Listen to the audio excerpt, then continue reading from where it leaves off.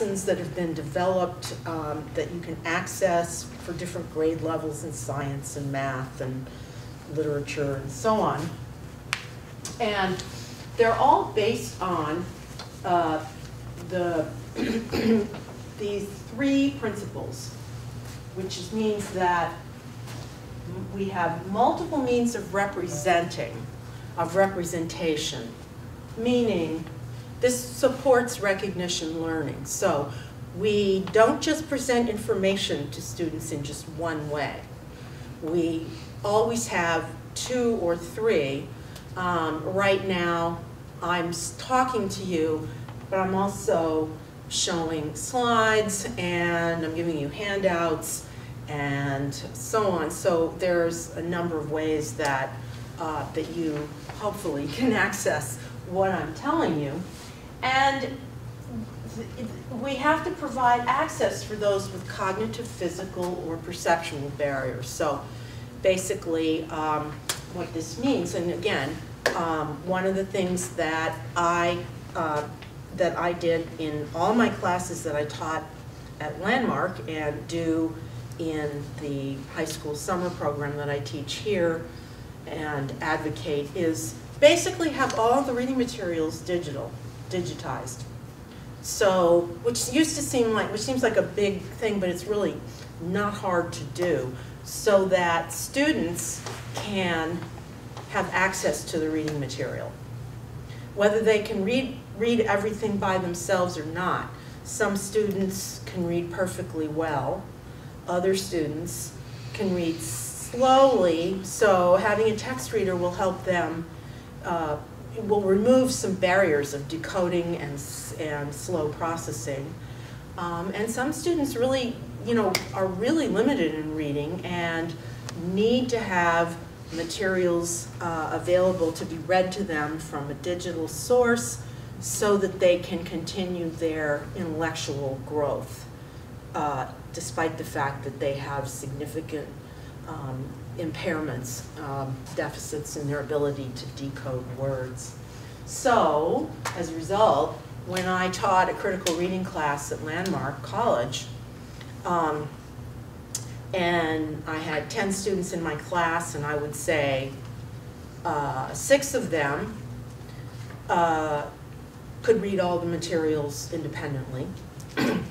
Um, But there are other good reasons to have them available digitally too, because you can, you can work with them and, uh, and things in an, uh, I like digital text a lot. And one of them um, could read short things but was kind of slow, so often needed to use a text reader for, like we use Kurzweil 3000, which we use here too, to help with long assignments. And then another three were really dependent on Kurzweil, but the thing is, we're all doing the same work. They're all doing the same work. Nobody's getting an easier text. Everybody is expected to meet the course requirements because they have, um, they have access to the materials through various kinds of technology and so on. That's one example there. Then we also look for, in a, in a, in a really robust, universally designed educational environment, that um, multiple means of action and expression. So we support strategic learning, meaning that you don't necessarily have to produce a five-paragraph essay on something to show that you know the topic.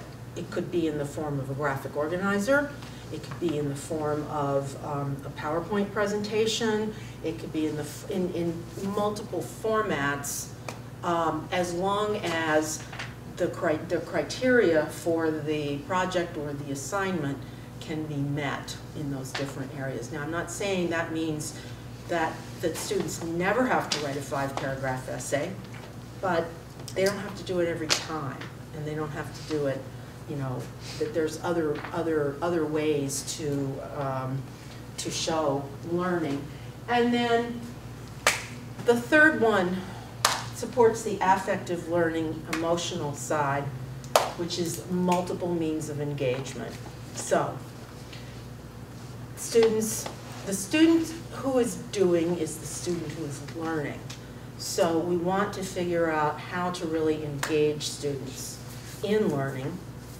Um, because if they're engaged in learning, uh, they're gonna feel more comfortable with it, and they're gonna be more positive about it, and they're more likely to, instead of feeling like, I'll never do this, never, ever, I just can't do this, there's no point in trying, that in fact, actually, with hard work and persistence, I can do this, I can succeed.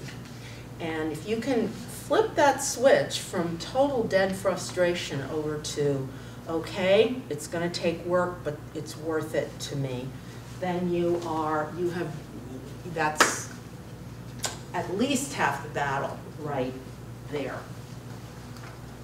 Um, so, okay, so how, how do we do this? Well, let's talk about, you know, the recognition learning, being able to recognize patterns, being able to manipulate them, and uh, uh, so on. So we want students to recognize patterns, so we want them um, to do things like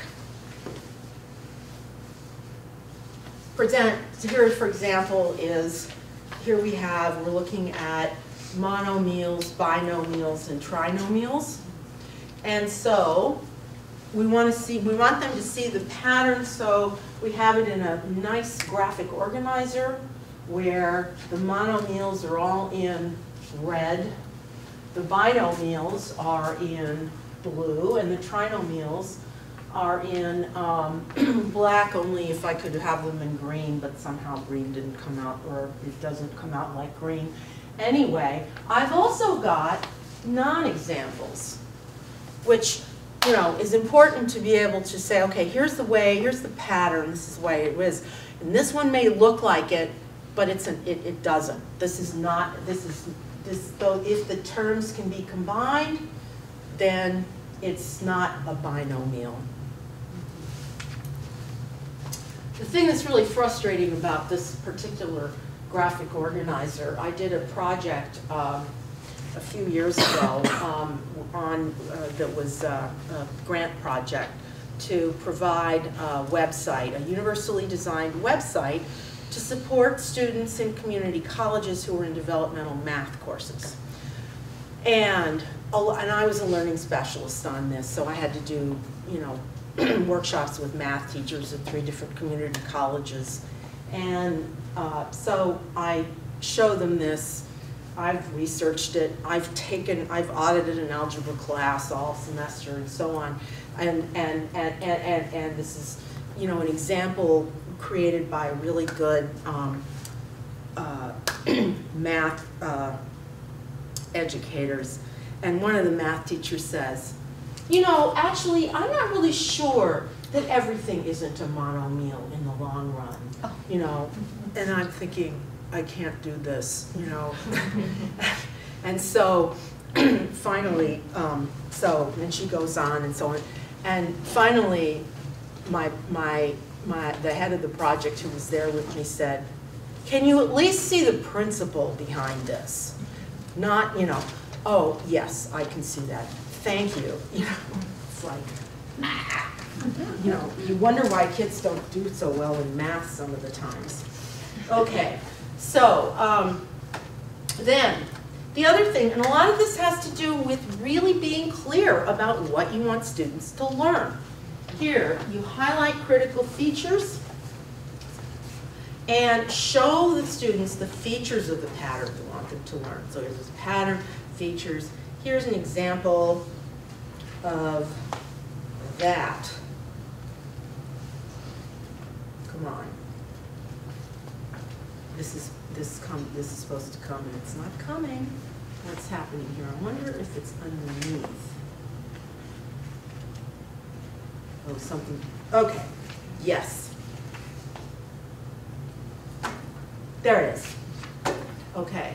Um, so here's an example, actual student work, where um, the student is studying geography, continents, and so on, and the, we want the student to recognize features of the pattern. So here are mountains, rivers. And, you know, map symbols are kind of a good example of that. Um, So they don't just show the continent, we're also going for a little more specificity that, that continents will have mountains and they'll have rivers and they'll have north and south and